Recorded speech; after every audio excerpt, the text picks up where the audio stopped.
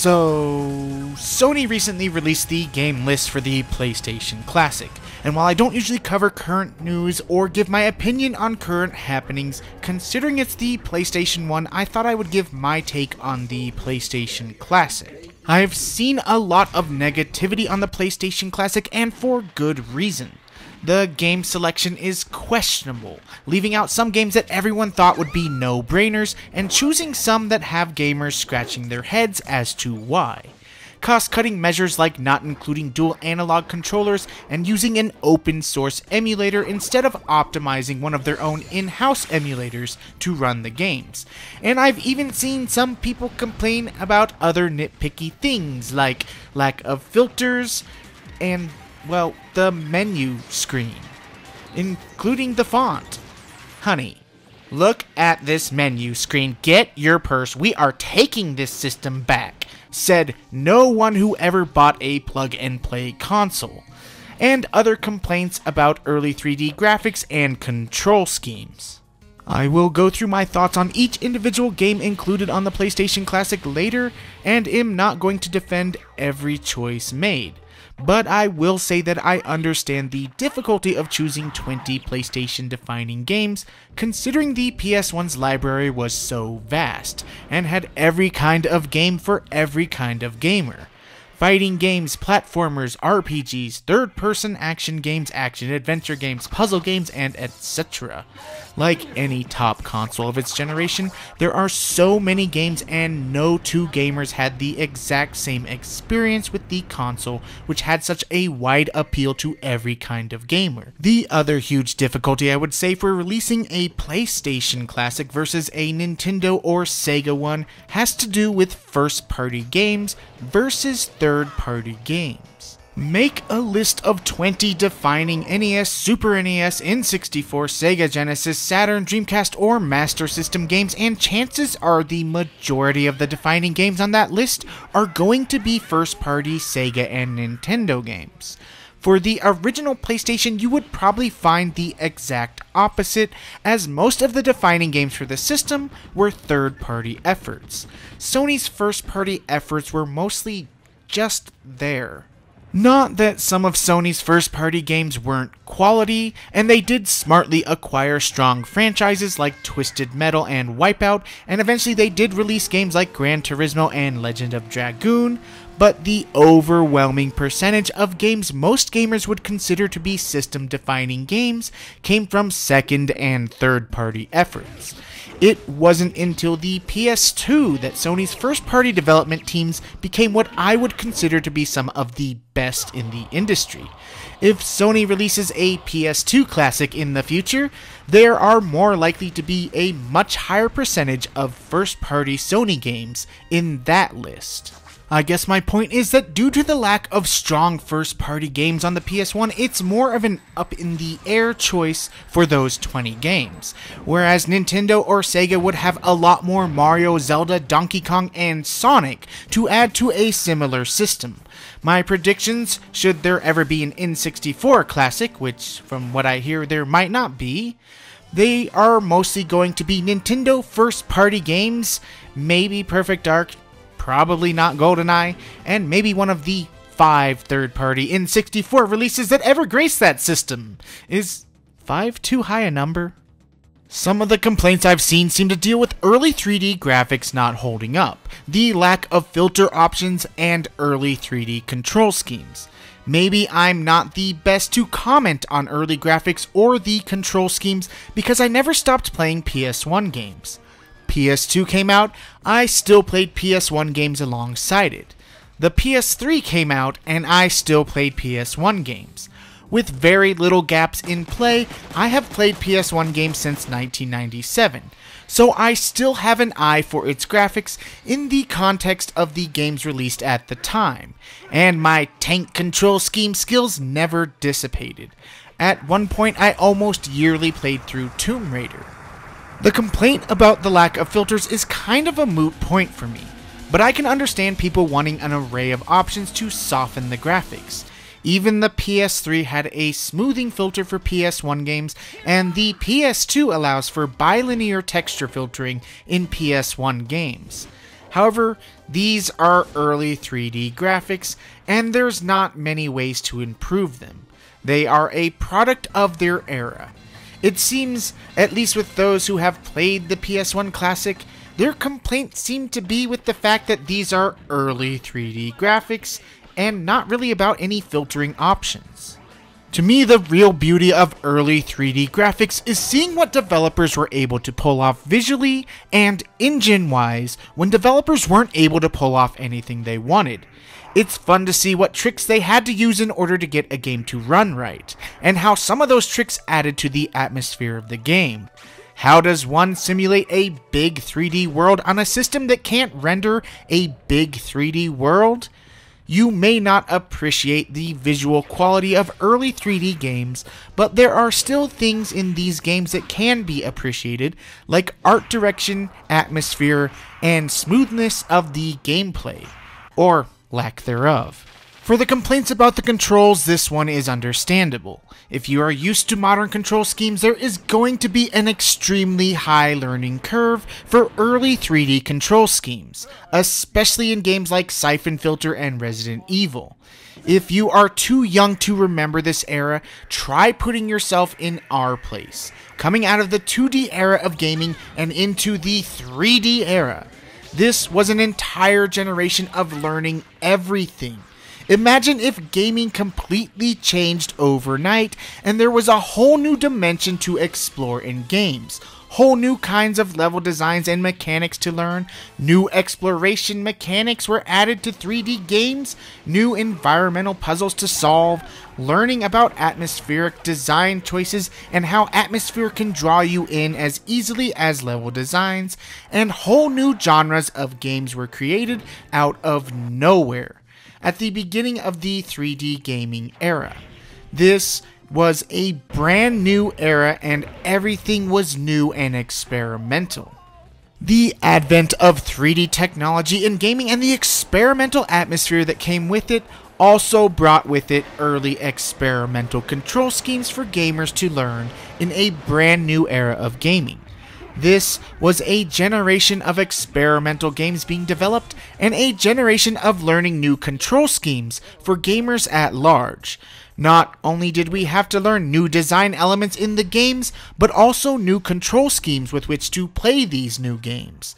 There really hasn't been another era like this in gaming since the early advent of video games themselves, and the 3D era is sort of a second advent in gaming, a time gaming will never see again.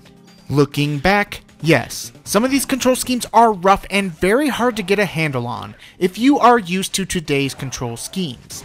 The design elements are all taken for granted now, but the controls aren't. In all honesty, I would say that gamers going back have a lot less to learn about these games than we did looking forward. Plus, if you spent any long periods of your life playing any of these games, give it some time, muscle memory will kick in. It should eventually click. You'll find your fingers doing it without you even realizing it. The final complaint, and probably the most valid, is in the games that we all wanted on the system, but that weren't added. Games like Crash, Spyro, Symphony, and even Tomb Raider, which, if you're having trouble controlling Gabe Logan or Resident Evil, you would have no chance of getting even halfway through the first level in Tomb Raider, by the way. I guess we just have to take it or leave it for what it is, even if some of the choices have us scratching our heads. So, with that, here is my take on the games included on the PlayStation Classic. Battle Arena Toshinden. I understand why people are questioning Toshinden's addition to the PlayStation Classic lineup, as this game has hardly aged gracefully. The game is far from fluid feeling, coming off as a bit sluggish. The controls, even when playing on original hardware, also lack the feel of fluidity, and the camera can be a bit troublesome in keeping up on the action, especially after the sidestep maneuver. The game is far from unplayable for an early 3D fighter, it just lacks the polish and fluidity of later fighters. For a weapons based fighter, I much rather would have seen Soul Blade on here as a precursor to the Soul Calibur series, or even rival schools, which has the combination Street Fighter Special Attacks gameplay in 3D environments. However, from a historical standpoint, I can appreciate Toshinden's addition to the game lineup. I remember hearing or seeing a quote from, I believe, Bernie Stolar, but don't quote me on it in case this was a different Sony exec, where he said that he wanted a 3D fighter ready for the North American launch of the PlayStation in order to go head to head with Virtua Fighter on the Saturn, and that he specifically searched out and found Toshinden to be the game to upstage Virtua Fighter, like they did in pitting Ridge Racer against Daytona USA. And upstage Virtua Fighter it did at least in the gaming media at the time, with magazines like Game Players giving Toshinden front page coverage and declaring it the best brawler of all time, and even giving it the nod over Virtua Fighter in a full page comparison between the two, saying, and I quote, if Virtua Fighter has any advantage over Toshinden, in parentheses, which we don't think it does, it is the realistic fighting. The verdict on Virtua Fighter is that it just doesn't compare to Toshinden. End quote. Or, in other words, never underestimate the power of good graphics to hype up and jack up review scores. It also didn't help that the Saturn port of Virtua Fighter wasn't arcade perfect in itself, but going back and playing both, Virtua Fighter is worlds better, if not dated, and Toshinden playable, not awful, but holds up a lot worse than Virtua Fighter. However, for history's sake and for being that game that upstaged Sega's classic, I can appreciate Toshinden's addition to the PlayStation Classic. Far from Soul Blade or Tekken 3 quality, but still historically important nonetheless. Cool Boarders 2 Ideally, this is the slot that should have had a Tony Hawk game in it, but I can imagine that relicensing Tony Hawk or Tony Hawk 2 would be difficult and possibly pricey. Not only would you have to license the likeness of all the skaters in the game, the game itself, but also all the music in the game. If Sony was trying to keep costs down, it seems logical that they would go with another extreme sports game that was easier for them to license. For the time, Cool Boarders 2, even after its sequels came out, was a fan favorite in the series. I'm not exactly sure why. I own Cool Boarders 2, 3, and 4, but haven't played any of them in depth, playing the demo disc version of Cool Boarders 3 the most. I'm far from an expert as to why, but it makes sense to put the fan favorite version in the series on the PlayStation Classic, and especially if Sony was trying to fill the extreme sports slot, and would have had difficulty acquiring the Tony Hawk license. Tony Hawk 2 would have been the ideal game to add, but Cool Boarders 2 is what they had to work with. Not a horrible replacement, but it's understandable that gamers would rather have seen Tony Hawk instead of Cool Boarders 2. Destruction Derby I don't own the original Destruction Derby, so take this footage of Destruction Derby 2 as a reference. My only real experience with Destruction Derby comes from playing the N64 version of the game at a friend's house years ago. As for early PlayStation games, Destruction Derby was always spoken highly of by those who played it. But I have had very little experience with the whole series and have barely even played the second one. In fact, I think this footage is the first time I've ever even popped it in a system. For an early PS1 standout game, I understand why they would put this one on here. It's not just a racing game, but also has the super hectic Destruction Derby mode. Sort of a deathmatch mode, if you will. The only point I want to make on this one, though, is that in the coverage of the PlayStation Classic, I have seen people who keep labeling this as a Psygnosis game, but they're wrong published by Psygnosis, but actually developed by Reflections, who would later go on to make Driver, which would have been a better choice for the classic than Destruction Derby, as it had a much larger effect on gaming and is easily associated with the PS1. I remember when Driver came out, people were wanting to do GTA style things in its fully 3D environments. In many ways, Driver was a precursor to the modern GTA franchise. After Grand Theft Auto 3 came out on the PS2, the sales of Driver 2 on the PlayStation 1 skyrocketed back into the top 20 best selling list, Because for those who didn't own a PS2 yet, because it was still in those transition years, it was the closest thing to GTA 3 on the PlayStation 1. I will say this though. I really dig the music in Destruction Derby 2, so if the original has good music on it like the second one, I think that's worth putting it on the PlayStation Classic alone. Even if Driver totally would have been the one that they should have put on here instead. Final Fantasy VII. This is a great addition and an obvious PlayStation defining game. Final Fantasy VII is the reason my brother and I ever bought a PlayStation to begin with, as we were huge fans of Final Fantasy III on the Super Nintendo. Well, Final Fantasy VI, that is, technically. As overrated as I've come to see Final Fantasy VII as the years have gone by, a recent playthrough of this game made me remember how much I still loved this game. What Super Mario 64 was to platformers, Final Fantasy VII was to RPGs. This was the next generation RPG. It set new standards for cinematic storytelling with its use of cutscenes, something that Square was hinting at in games like Chrono Trigger and Final Fantasy VI, but couldn't do due to the hardware. Prior to Final Fantasy VII, we had never seen anything like it. It was a surreal game that just felt so weird to me at the time.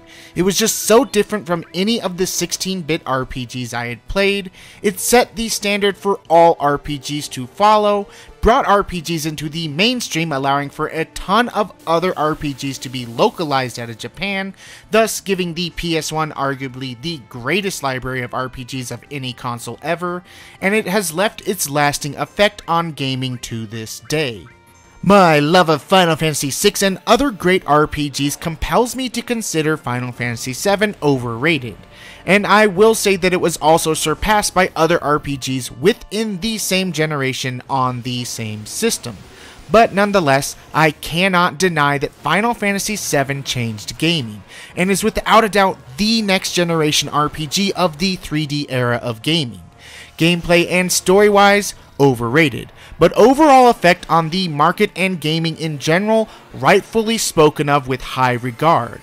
I'm probably not articulating my points well, but it's one of those things where if you weren't there to see that jump from 2D to 3D gaming, it's a hard feeling to describe. And Final Fantasy VII was without a doubt the first real next generation RPG of the 3D era. All those prior, like Wild Arms, Beyond the Beyond, and Suikoden, were just repackaged 16 bit RPGs with some polygons thrown in instead of sprites.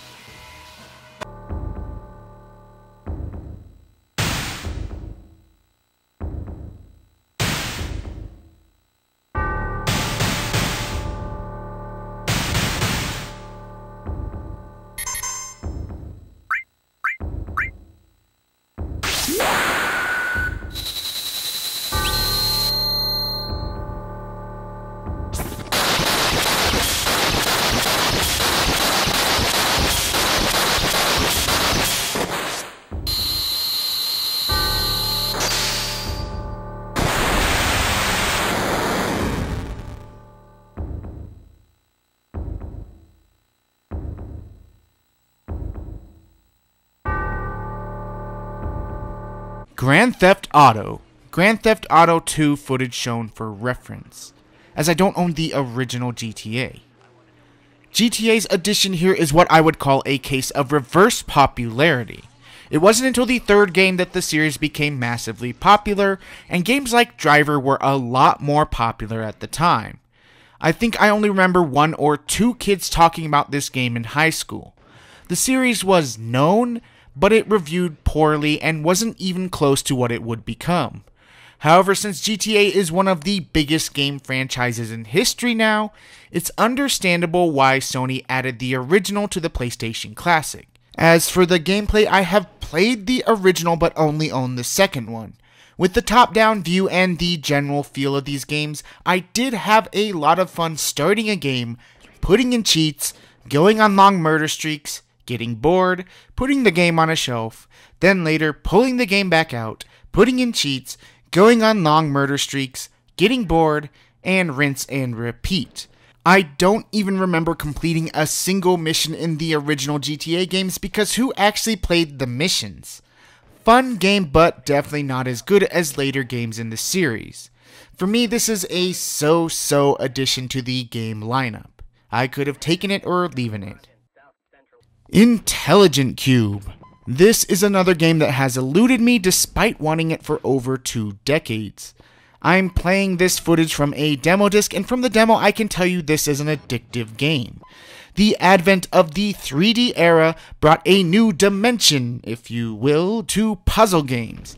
Games like Tetrisphere, Wetrix, Devil Dice, and Intelligent Qube help bring the genre beyond the mere good old school Tetris clone, and opened us up to new ideas of what could be done in puzzle games in general. I know that the Japanese version of the classic is getting Devil Dice, which would have been a great addition to the North American version, but Devil Dice is best enjoyed with a multi tap, in my opinion. Five player crazy deathmatch, well, five player mode. I appreciate the inclusion of Intelligent Qube on this collection because I don't own it. And while not the most expensive PS1 game, is still pricey to pick up a disc copy of. Intelligent Qube is another selling point for me because I've wanted it for over two decades. Jumping Flash. This is another good addition to the game lineup. A first person 3D platformer that came out before Super Mario 64. The best part of the game is the fact that Robbit can jump for what feels like a mile in the air in order to drop down on your enemies from above, or to reach new areas of the stage. The movement and feeling of falling in your gut is the best part of this game. If you've never played a jumping flash game, you've never quite played anything like it. That being said, when I did my review for this game, I played through it three or four times and realized that my average playthrough of the game was around 40 to 45 minutes, give or take. The game is also pretty simplistic in its level objectives. This is a 3D platformer that isn't nearly as complex a game as the aforementioned Super Mario 64. Basically, all Robbit does throughout the game is play two level stages where he hunts down three or four carrots in each stage and then finds the exit, and on the third stage, he fights a boss very simplistic design, and there are also some first person shooter elements and level designs as well. Still a really fun but very short and simplistic game. It's an extremely sensitive covert operation. You'll be one man against an entire squad of high-tech special ops. If you want to survive, you gotta have brains. You have to be in peak physical condition. The fate of the free world is in your hands, soldier. Failure is not an option. Sir, aren't these tests kind of easy? Suicide mission. Metal Gear Solid. Metal Gear Solid. So if Konami isn't forking over the rights to Symphony, a game that has become more popular in hindsight through word of mouth and gamers spreading the word, the one absolutely required game that needed to be on here was the PS1's biggest, most hyped game of 1998. While Symphony gained in popularity over time, Metal Gear Solid came out to huge hype and immense popularity and fanfare, and has remained as popular ever since. And rightfully so, because it is easily one of the best games on the PS1. The lack of Symphony sucks, but if there were no Metal Gear Solid, Sony shouldn't even bother releasing a PlayStation Classic. This is the number one most required game for this collection. I don't really need to go in depth on this one, so I'll just address a couple of small complaints people have with playing it on the Classic, specifically with the Psycho Mantis fight in mind. People complain that with the lack of DualShock support, Psycho Mantis won't move your controller by itself which is a cool touch, but really a small detail. And since I went almost the entirety of the PS1's lifetime without a DualShock controller, using just D-pad controllers, I don't remember this part fondly. I didn't hear anyone complain that he also won't read your memory card and tell you that you like Suikoden or Castlevania, don't you? Ah, I can see into your mind. You like Suikoden. You like Castlevania, don't you? The whole rest of the game is intact, though. These are cool little Easter eggs that do add to the experience, but they aren't something required. The only part of the cool interactive Kojima design choices made for the game that might hinder the game is when Baker tells Snake to get in contact with Meryl for the first time. And he says something along the lines of, Wasn't her codec number on the back of the box? Sure enough, if you own a disc copy of Metal Gear Solid, look on the back of the jewel case and you will see a screenshot of Meryl's codec number. I think that is one of my favorite Easter eggs in the game. No worries though, if it went over your head back in the day or you don't have the jewel case, Meryl does eventually call Snake if you don't contact her first. I like you. I have no name. Mr. Driller. This is one that I don't actually own but have had on my PlayStation want list since it first came out.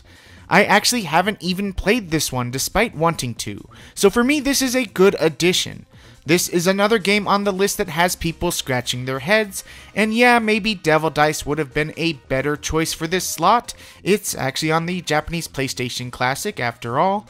Because most people are more aware of Mr. Driller on the Game Boy Advance than on the PS1. Or maybe it's the dual screen, I'm not sure which system it released on.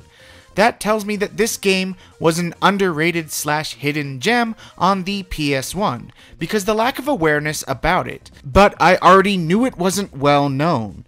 This is a good addition for me because I've wanted to play it for years, but understandably why people don't quite understand why this game was put on the list.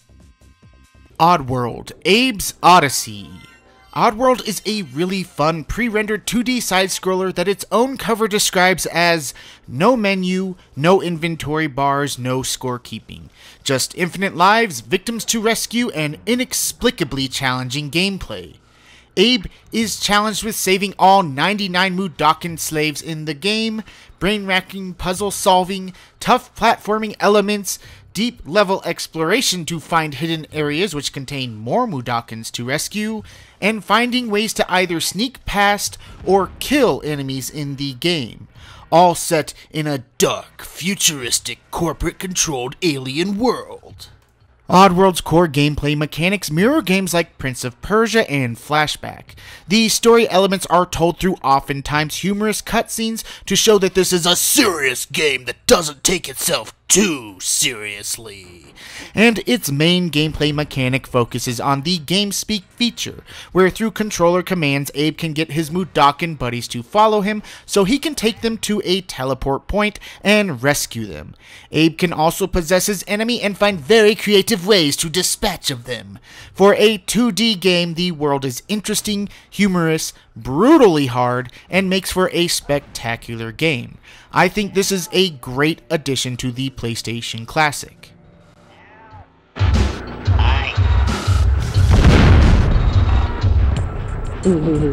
Rayman. Rayman is a game that I've owned for a number of years but still really haven't gotten around to playing it much. Beautiful 2D sprites and solid gameplay, Rayman shows the best elements of 16 bit side scrollers with the power of the next generation of technology. A lot of people are scratching their heads over this one, citing games like Klonoa or Tomba, or Tombi if you're in the PAL territories, as better games for the collection. But Rayman was more popular and is still a solid addition to the collection. I do like Tomba and Klonoa better, but Rayman has more of a mainstream appeal and is still a good 2D platformer, from the small portions I have actually played of it, that is. Resident Evil Director's Cut. I know I'm in the small minority here that actually appreciates the inclusion of Director's Cut over Resident Evil 2. I've always liked the original the best out of the entire series. My brother and I loved Resident Evil enough when we rented it that we actually bought Resident Evil 2 the very day it came out. It was actually the very fifth game I ever owned for the PlayStation, and the only game I remember buying day one. For me, the atmosphere of the original is the best in the series. The strange feeling of being stranded in a huge mansion out in the middle of nowhere and having no escape has always left a deeper impression of fear on me than Resident Evil 2's more action slash jump scare focus. Everything was just creepier in the original. And the mansion setting made sense for having obscure puzzle solving elements in the game. Mansions have a mystique about them trapdoors, secret tunnels, needing to find and use various keys to unlock new doors, long since hidden by people who have been forgotten, in a mansion that time seems to have also forgotten. I just like the whole setting and design of the original better. Yes, dog through a window, most memorable jump scare in gaming history. But the entire setting and atmosphere of the original was not only more believable in the puzzle elements, but was just overall more eerie all throughout the game for me. Resident Evil 2 was just kind of meh to me. I played through it a couple of times, put it on the shelf, and actually haven't played through it in about 20 years. I lost complete interest in the series after the second, though I do like to play it with action replay codes, giving me the heavier guns with infinite ammo. It totally changes the entire game from a survival horror game to a zombie action game. And with the heavier action focus of Resident Evil 2 is a more fun way to play through the game for me. Seriously, if you have the option, try it this way. I appreciate the inclusion of Director's Cut on the PlayStation Classic over its sequel. Overall, I believe the atmosphere is just way better and it keeps you on the edge the whole game. Whereas Resident Evil 2 relied too heavily on cheap scares and a heavier action focus that made the puzzle element seem out of place in the game. I've never really been a huge fan of Resident Evil 2 despite owning it from day one. Revelations Persona. I own nearly 50 RPGs for the PlayStation, but my RPG collection does have some glaring, expensive omissions from it. Tales of Destiny 2, Vanguard Bandits, Arc the Lad Collection, Ogre Battle, Tactics Ogre, Valkyrie Profile, and yes, the Persona series to name a few. So honestly, I'm glad to see this game on the collection because that gives me a cheaper alternative way to play it. This is another case of reverse popularity as the series has become more popular in recent years than it ever was on the PlayStation, but one that works in my favor because this is one of those glaring omissions. This is actually a selling point on the PlayStation Classic to me personally, even if its inclusion has left other gamers scratching their heads as to why. Ridge Racer Type 4 while the Ridge Racer series definitely has its history rooted in the PS1 in particular, I see R4 as the Gran Turismo stand-in game. Due to the no doubt difficulties there would be in relicensing all the cars in Gran Turismo or Gran Turismo 2. However, there were magazines at the time like PSM that actually gave R4 the nod over Gran Turismo 2 as the best racing game on the system. If you haven't played it, think of R4 as the arcadey equivalent to Gran Turismo. It lacks the customization and depth of Gran Turismo and the sim feel, but it makes up for it with over 300 unlockable cars, buttery smooth arcade racing gameplay, and probably the best looking graphics in any PS1 racing game. That part might be debatable, but what isn't debatable is that R4 is at the top tier of PS1 graphics for its genre. From visuals, gameplay, and smoothness, this is a game that was considered to be on the same level of Gran Turismo 2, and considering its uniquely arcadey feel over sim feel, might even have aged a little better than GT2 as well. Super Puzzle Fighter 2 Turbo! This one definitely has a lot of people scratching their heads as to why Sony included this game as opposed to an actual 2D Capcom fighter like Alpha 3 and that's actually completely understandable. Most people would have preferred to see Alpha 3, as it is one of the best fighters on the system. All that being said, I have heard a lot of other videos on the subject of the PlayStation Classic say they consider this to be more of an arcade game over a PlayStation game. But personally, I've never seen an arcade cabinet of Puzzle Fighter, never played the Saturn version, and quite frankly, most people didn't even know about this game when it hit or in the years after. Puzzle games really weren't mainstream popular at the time, and most of the PS1's puzzle games went unnoticed by gamers at large. Quite frankly, Super Puzzle Fighter 2 Turbo is what you would call an underrated or hidden gem. It flew completely under the radar when it was released and has remained there ever since. I say this is a good addition, maybe not a PlayStation defining game, but an addictive one and a good multiplayer game. Let's also not forget about the second controller included in the PlayStation Classic. The arcade mode is fun, the street puzzle mode is brutally difficult. This is an underrated gem where you actually build gems in the gameplay.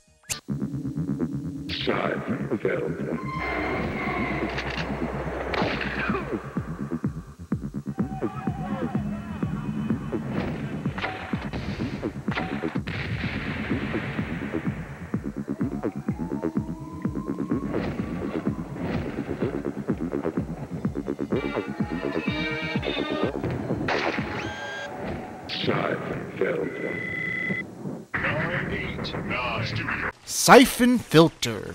I've heard some other channels say that with the inclusion of Metal Gear Solid, Syphon Filter's edition is kind of moot.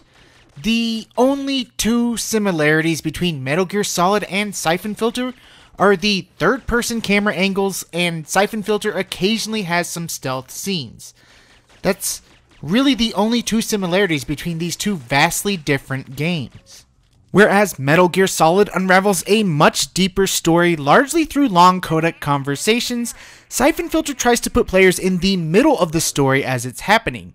Metal Gear Solid is telling a larger, deeper story over the course of the game, whereas Syphon Filter aims to put players in the middle of an action thriller movie. New changes to the plot and new objectives are radioed into Gabe in simulated real time mid missions. The gunplay is fast, frantic, and fun, and the early missions, especially, are just go, go, go. The game throws you into the action and keeps you running. They even modeled Gabe Logan after a young Alec Baldwin, raspy voice and all. The voice acting is, at best, decent for the time. The star of the show that sets Syphon Filter apart is definitely the gunplay mechanics. Gabe has three aiming modes. He automatically auto aims, he can zoom into first person view for precision aiming, which controls surprisingly well with the D pad, and the most fun one, he can lock onto enemies and 8 way run around them while shooting them, allowing Gabe to run in one direction while shooting in another. This mechanic works so well that you actually won't miss dual analog aiming in this game.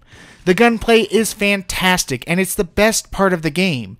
Adding dual analog aiming in the PS2 games kind of ruined the gameplay for me.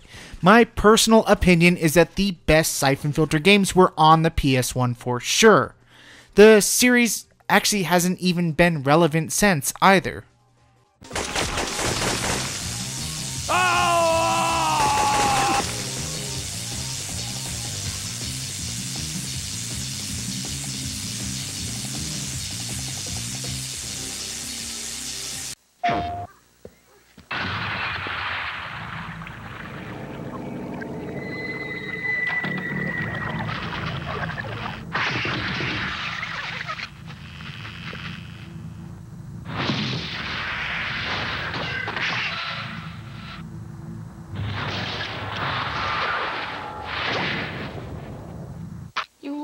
Left again, didn't you? There are games, and then there's Tekken 3. PlayStation. Tekken 3. Tekken 3 is another obvious no brainer. Easily voted the best fighting game on the PlayStation by pretty much every gaming magazine and website of its day, and is a fast, extremely fun 3D fighter. To me, this is the pinnacle of the Tekken series, though I think I like Tekken Tag a little better because it has more characters, and was actually the last Tekken game I actually spent any amount of time with. Seriously. Though I say I like Rival Schools and Soul Blade better on the PS1, I still poured an absurd amount of hours into Tekken 3 back in the day. Depth wise, definitely below Virtua Fighter, but certainly above Dead or Alive. Tekken 3 is more easily accessible to new players. It treads that line between being easy to pick up and play for newbies and having enough depth of play for fighting game fanatics to master. especially when it comes to the crazy 10 hit combos. Easy playability with a lot of depth under the surface, a bunch of unlockable characters and extra modes like Tekken Force and Tekken Ball, and a fun, smooth running play engine. Tekken 3 is easily one of the best 3D fighters on the system and a high ranker for one of the greatest of all time. Great game. Tom Clancy's Rainbow Six. Rainbow Six Rogue Spear shown here for reference. This is the biggest head scratcher of the entire collection. Of all the D pad playing first person shooters on the PS1, why would the PS1 version of Tom Clancy's Rainbow Six ever even be considered for this collection? Why not even though with the death of Midway Williams, it would be a nightmare to relicense the custom PlayStation edition of Doom, or Duke Nukem, or even Disruptor, as I've heard some other channels suggest. I'm not even sure if the PS1 version of Rainbow Six was popular, or even if it sold that well to begin with. But I do attribute its inclusion as another case of reverse popularity. Not that the Rainbow Six series is in the popular graces in today's gaming world, but the modern shooter certainly is. Uh, the only thing I could think of is Sony is trying to appeal to the mainstream Call of Duty crowd by adding Rainbow Six to this collection. It's no secret that on the PC end of gaming, games like Delta Force, Operation Flashpoint, Rainbow Six, and Ghost Recon helped popularize the tactical slash modern shooter. And I think that Rainbow Six's addition is an homage to the genre's roots. I don't own the original on the PS1. The only console version of it I own is the Dreamcast version, which plays great despite its overly complicated controls.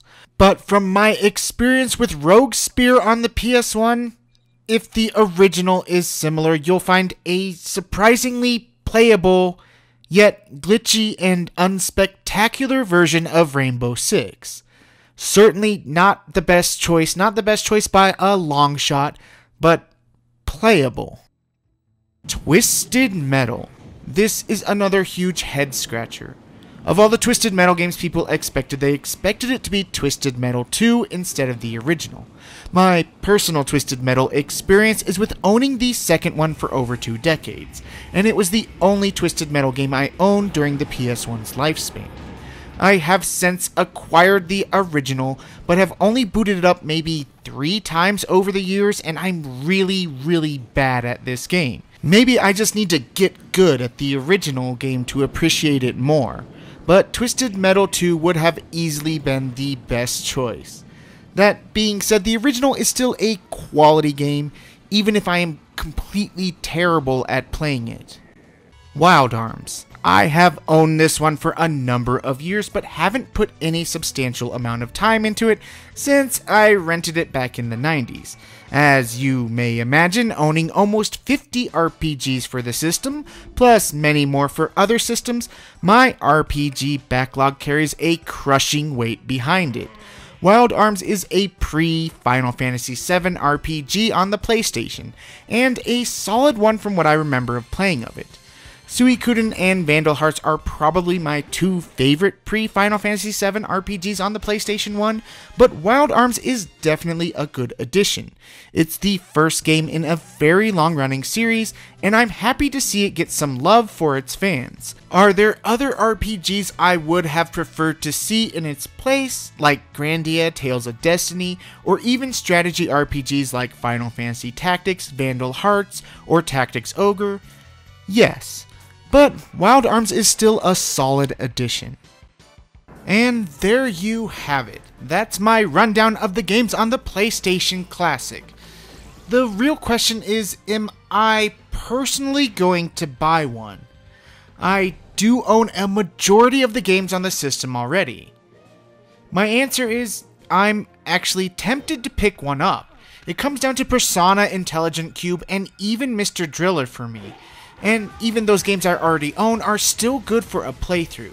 And it's easier access than having to dig through a tub of over 200 PS1 games to find the games I already own in the system. I don't keep any consoles in my living room as I have a separate gaming slash YouTube room, and the PS1 Classic would be perfect to keep out in my living room as an easy plug and play retro box that has easy access to a number of games. At this point, I'm actually leaning towards picking one up. If you have no interest in picking up a PlayStation Classic, it's understandable as the game selection is far from perfect, and even if the system had 20 games we all wanted to see, you really can't sum the PS1 up with 20 games. No matter what the list, there will always be disappointed gamers.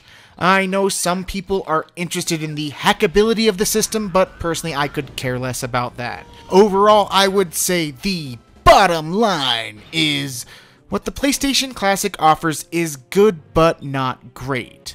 At least the North American version, because the Japanese version has a different and arguably better selection.